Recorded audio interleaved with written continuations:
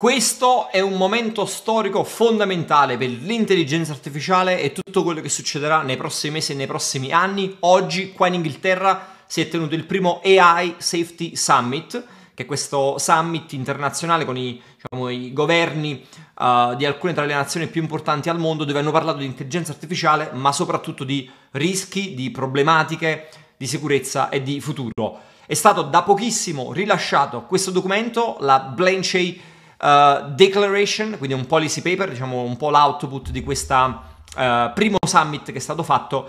Andiamo a vedere un pochino di cosa si è parlato, perché secondo me ci sono degli aspetti interessanti e qualche riflessione interessante da fare. Prima di tuffarci nel vivo della lettera, però, che vi lascio qui sotto in descrizione, vi ricordo che se volete potete supportare questo canale, se vi interessano gli argomenti che porto qui sopra, se vi sono utili, soprattutto questa parte che riguarda l'intelligenza artificiale, ci sono due modi.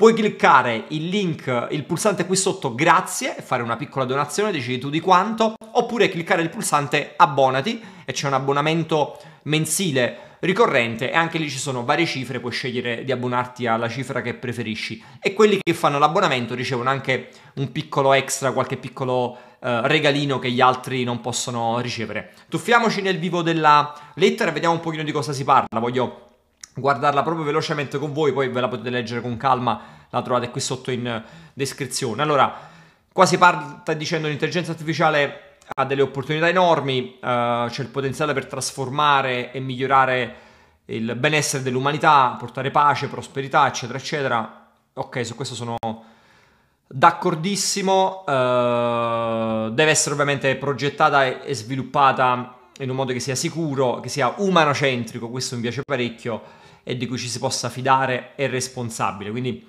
eh, invitiamo la comunità internazionale no, a fare questo lavoro in, insieme di gruppo, facendo in modo ovviamente che si proteggano i, i diritti uh, e le libertà eh, fondamentali.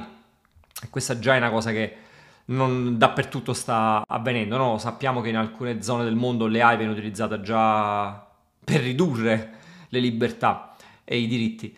Uh, ta ta ta beh, l'intelligenza artificiale è già ovunque in mezzo a noi, sì, questo lo, lo, lo sappiamo da, diciamo, da, da, da, parecchio tempo, ormai la utilizziamo, la utilizziamo dappertutto. E vabbè, per, per, fare in modo che ci siano degli sviluppi, no? per cogliere queste opportunità uh, ta in maniera inclusiva, coinvolgendo le nostre relazioni dal punto di vista globale,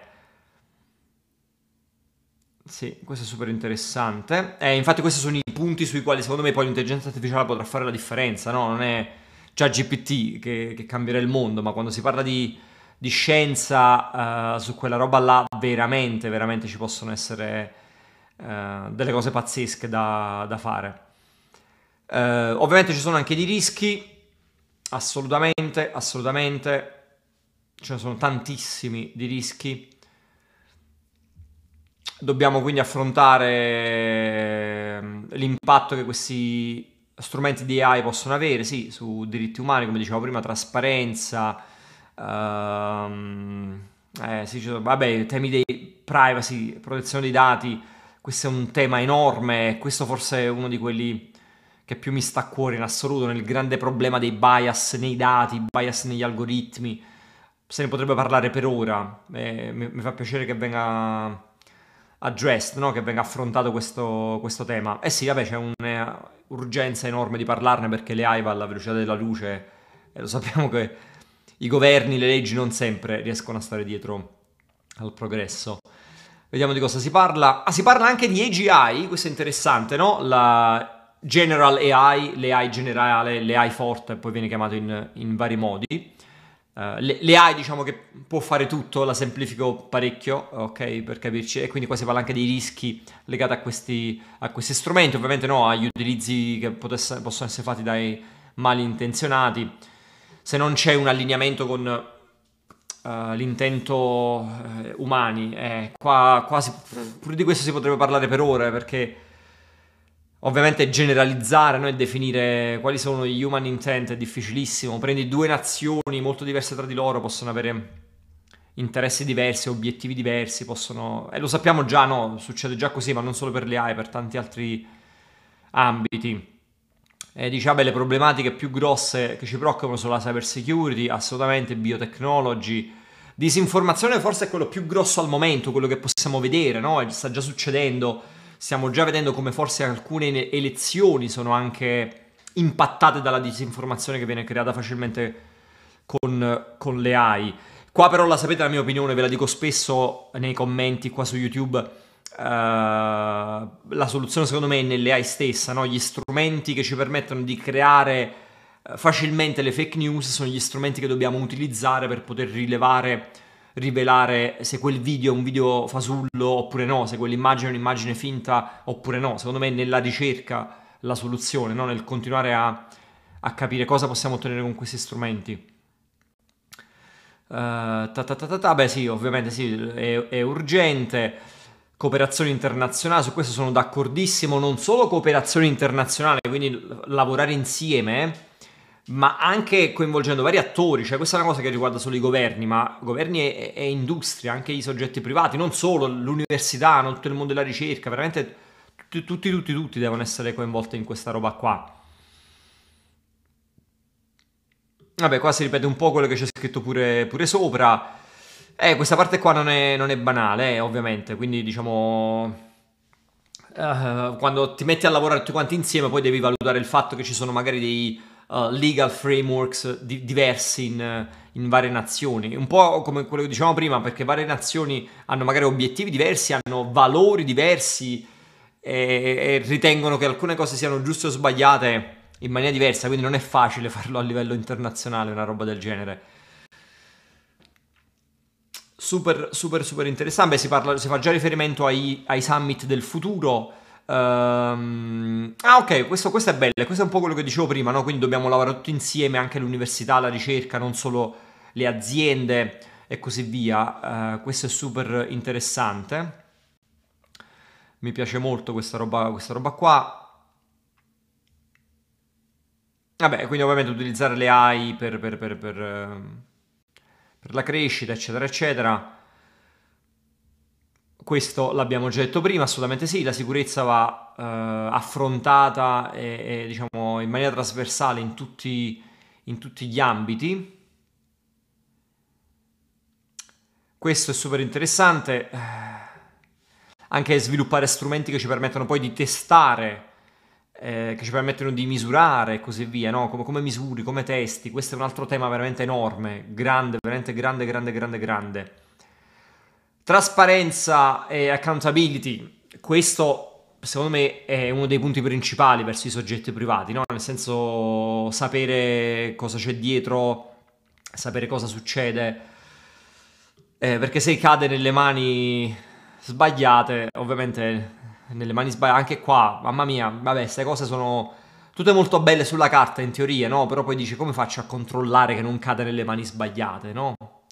Produco un coltello, vendo un coltello e poi come faccio a sapere che uno non compra un coltello per farci un, un omicidio e non per tagliarci la carne? Eh, non è banale come cosa, soprattutto per tecnologie di questo tipo. Ok, perfetto, mi sembra che il, la lettera sia arrivata alla fine. La nostra agenda sarà su questi due punti. Uh, ta ta ta Vabbè, quindi uh, trovare e identificare un pochino questi rischi. Questo mi piace molto.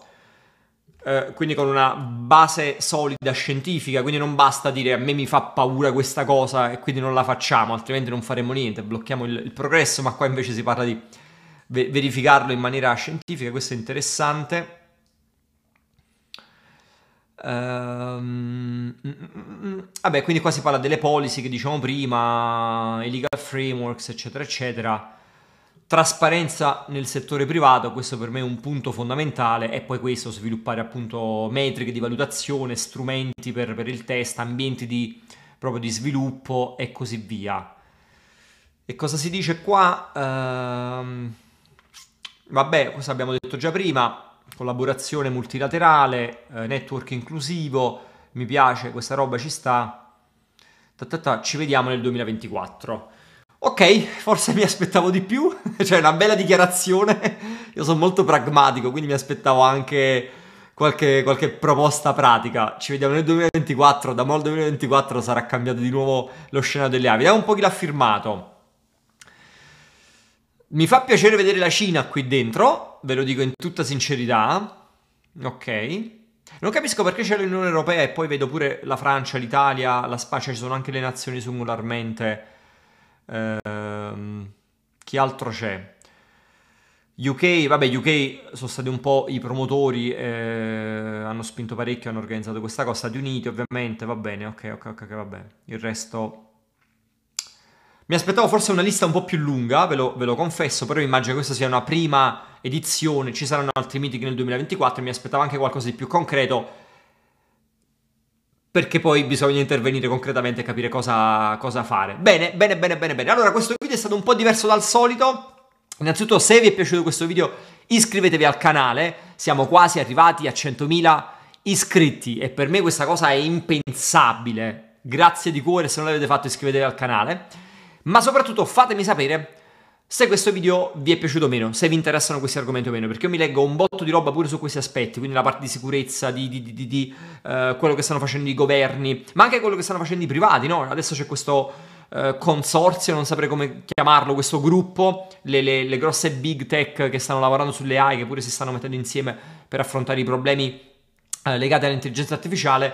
Se questa roba non vi interessa me lo fate sapere senza problemi, me lo scrivete qui sotto, non c'è problema, o me ne accorgo perché questo video fa 300 visualizzazioni, oppure se vi interessa ditemelo perché io mi leggo un sacco di roba e magari faccio qualche altro video interessante dove parliamo pure di quello, di sicurezza, di problematiche, di dove si sta andando anche nelle collaborazioni con i governi e con le aziende e così via. Uh, altrimenti me li tengo per me e non fa niente, me le continuo a leggere e a voi vi faccio solo i tutorial colorati, carini e coccolosi. Prima di salutarci vi lascio a video um, un video che può essere interessante su questo tema perché qualche giorno fa ho pubblicato un video su le AI e il guadagno facile, visto che ci sono diverse truffe e un, un bel po' di, di fuffa, uh, mi, sono, mi incartato uh, in questo periodo su questa roba, vi potrebbe interessare, ve lo lascio qua a schermo, cliccate il video per andare ad approfondire e fate attenzione alle truffe e ai ciarlatani.